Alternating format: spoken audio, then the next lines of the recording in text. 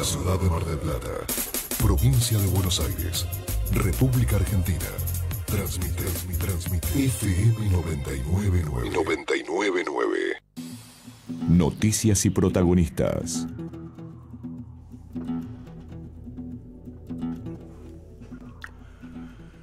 Muy bien, iniciamos 7, 2 minutos, esa es la hora en el territorio nacional de la República Argentina, estamos en la 99.9, una mañana fresquita de inicio de jornada y de semana, eh, con 7 grados 3 de temperaturas, eh, estamos eh, con una humedad del 96%. La presión es de 1010.6, medida en hectopascales, los vientos del noroeste a 7 kilómetros en la hora, visibilidad de 10 kilómetros. En esta jornada tendremos una temperatura máxima del orden de los 24 grados, con cielo algo parcialmente cubierto, vientos moderados a regulares, quizás también fuertes del sector norte con ráfagas. Para mañana martes mínima de 11, máxima de 21 grados. Para el miércoles mínima de 8, máxima de 26. Y para el jueves mínima de 11, máxima de 24 grados. Ese es el escenario climático que tenemos. Reitero, 7 grados 3, cielo despejado mañana fresca pero agradable en nuestra ciudad en Mar del Plata. Recuerden que estamos transmitiendo en HD para Facebook Live, Periscope y en nuestro canal en FM 999.9 barra info. ¿sí? Bien, eh, te digo esto, no luce demasiado todavía como noticia, pero está en progreso y va a ser impactante a lo largo del día seguramente porque la imagen es tremenda, tremenda. Cayó un helicóptero en el River en New York y hay cinco personas este, fallecidas de seis que estaban a bordo. Se salvó solamente este, el piloto. Se ignora eh, todavía este, absoluta, total y completamente qué fue lo que ocurrió. Hay una, una, grabación que está circulando, quizás obviamente de alguien que estaba en ese momento, advirtió que el helicóptero perdía, perdía capacidad de vuelo y eh, comenzó a, a grabar. Paralelamente a esto, este, se estrelló en la mañana, mañana para nosotros, ¿no? Eh, un avión en Bangladesh. La verdad que hay una seguidilla de, aviones caídos este, últimamente, en particular, creo que esta mala saga arrancó con un avión iraní hace tres semanas, luego un avión ruso de transporte de tropas y ahora este avión en Bangladesh, de lo cual todavía no hay demasiada información. Pero bueno, vamos a ir ubicando y colocando algunas cosas en el centro de la escena. El, em, sábado pasado eh, hubo un eh, timbreo este, que llevó adelante eh, Cambiemos en buena parte de la República Argentina.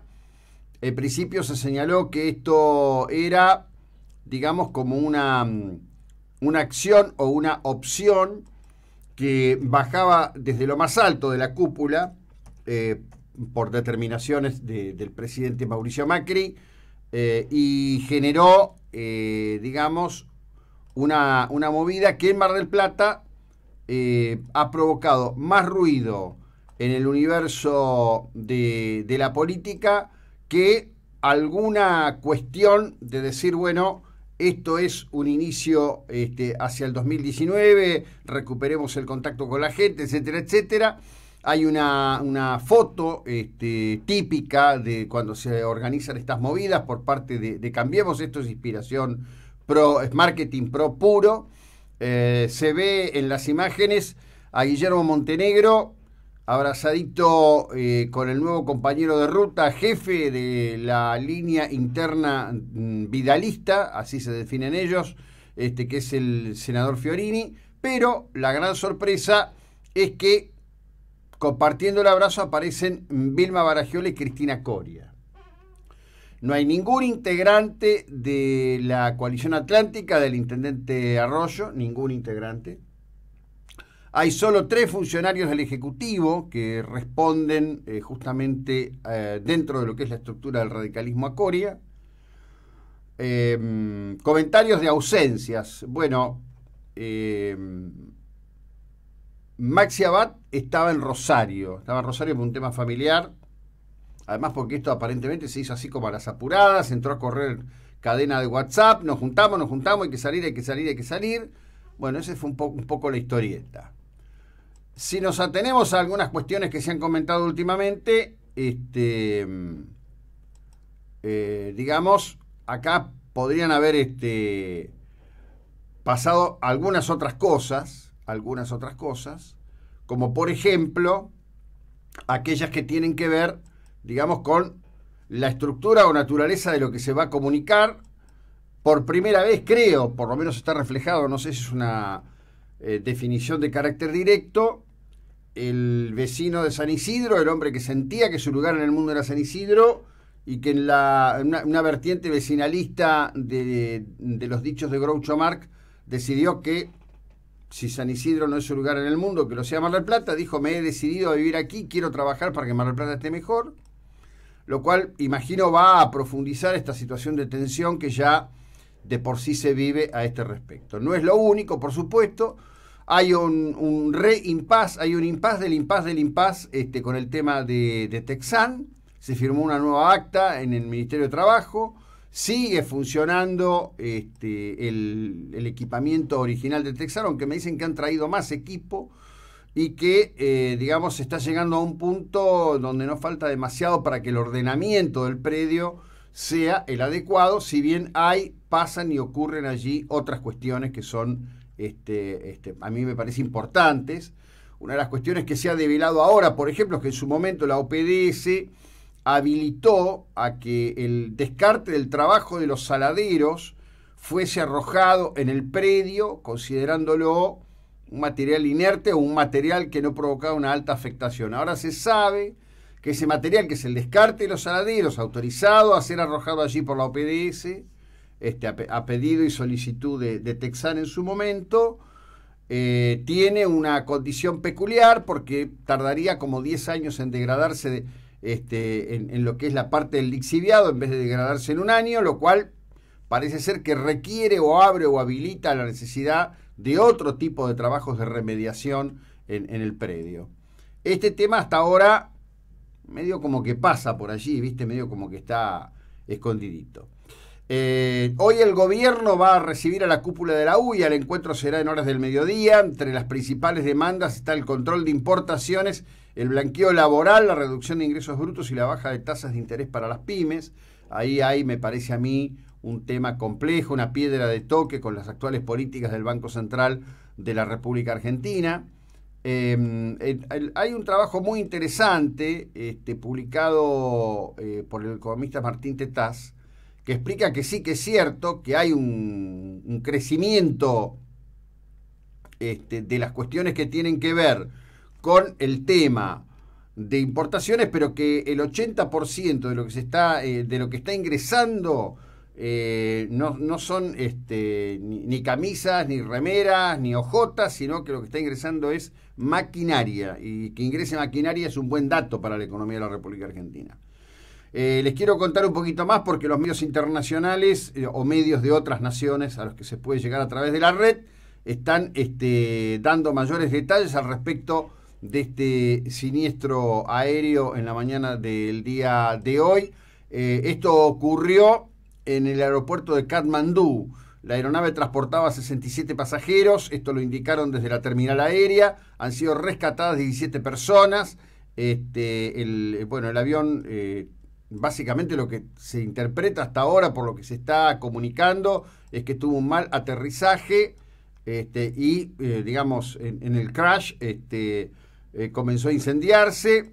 Eh, Virendra Prasad Sestra, portavoz del aeropuerto, dijo, estamos tratando de controlar el fuego, aún no podemos brindar detalles. Una de las noticias junto con el estrellamiento de este helicóptero en el River en, New York. Este, yo imagino que muchos de los que me están escuchando le debe estar dando escalofríos porque son esos helicópteros en los que se hace el tour de, recorrida a través este, de de, las opciones que se dan cuando alguien va a, esa ciudad, ¿no? Eh, bueno, tengo, algunos que están este, odiados y negados con el tema de, la cuestión, el tema de la renga, que habrán visto que a lo largo del día, lo que yo le planteaba al DIN en el inicio del viernes, se comprobó total, absoluto y completamente. Eh, ahora apareció una entidad intermedia que es eh, nucleadora de organizadores de espectáculos públicos que están intentando mediar ellos con la este, con la gobernadora. Parece que estarían tratando de hablar con la, con la gobernadora para que la gobernadora dé una respuesta. En verdad, yo eh, me fui antes de que el partido terminara, pero entiendo por lo que estoy viendo recortadito ahora, ahora lo voy a ampliar, eh, que en definitiva este, Schwarman perdió con Bagdatis, ¿no?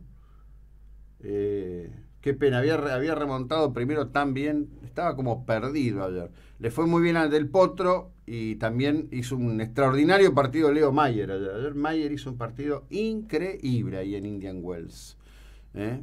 Eh, te quiero contar tres cosas que me parecen interesantísimas. Una de ellas la vamos a ampliar después en el transcurso de la jornada, pero parece ser que se está cerrando ya un acuerdo con eh, una compañía aérea china que va a empezar a operar este, antes del mes de octubre.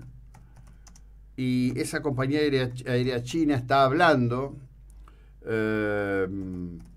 que puede traer a la Argentina un millón de turistas por año.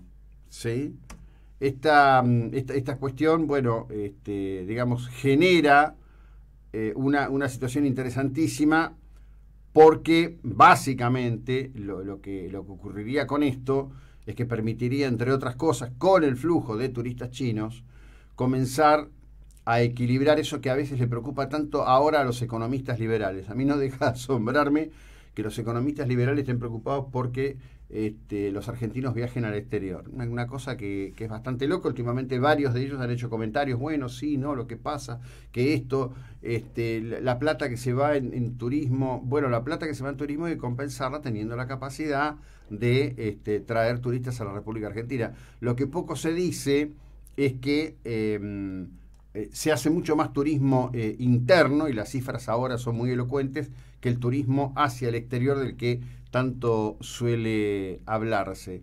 Eh, lo cierto es que, bueno, este, este tema está ya, yo te diría, prácticamente cerrado y es, este, por cierto, y en todo sentido, una muy buena noticia tres cosas que te quiero contar de, Mar del Plata. Hay un, bueno, la verdad que hay vueltas y revueltas con el tema y del presupuesto municipal y es bastante inconcebible que estemos este, entrando eh, ya en la mitad de marzo y el presupuesto no se haya bajado como corresponde, no se haya debatido como corresponde y esté ya aprobado. Esto eh, genera, digamos, incertidumbre en muchas cuestiones.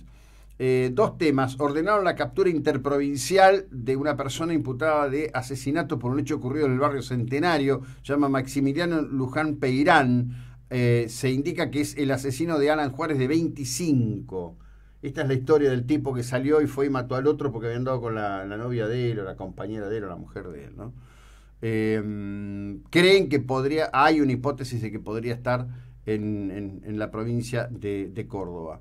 Eh, pero ah, esto, la verdad que había trascendido en las redes. Yo primero lo vi pensé que era, este, como hay tanto chichoneo, tanta, tanta cosa bizarra.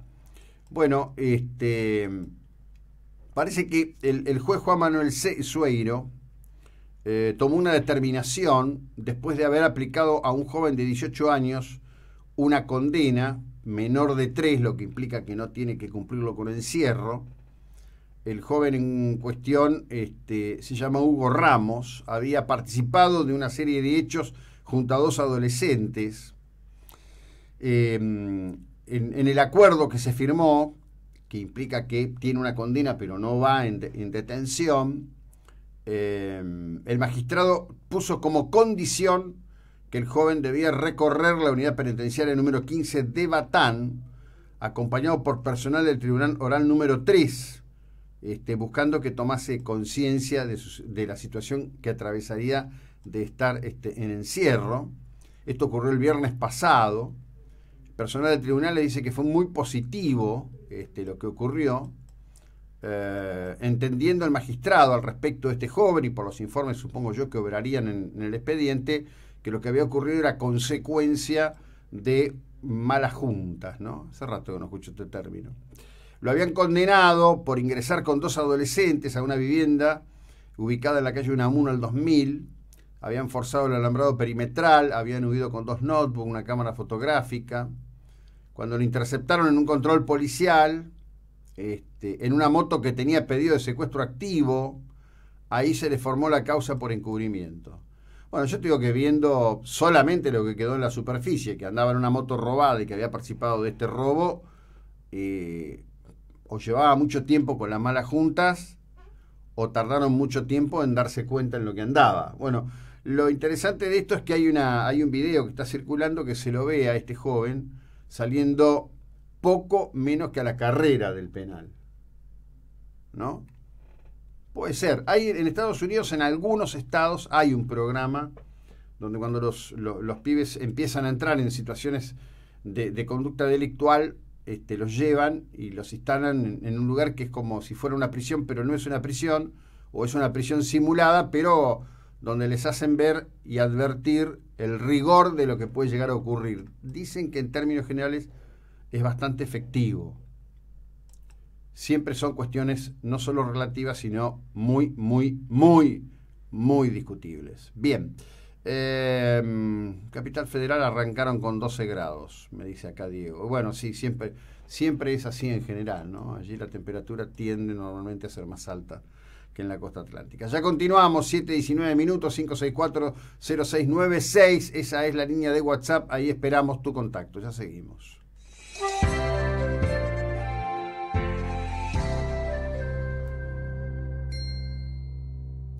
Estudio Jurídico Dr. Martín Ferrá, abogado. Teléfono 154 2460 51 473 1991. San Juan 3205, Mar del Plata. Seriedad y responsabilidad en materia jurídica.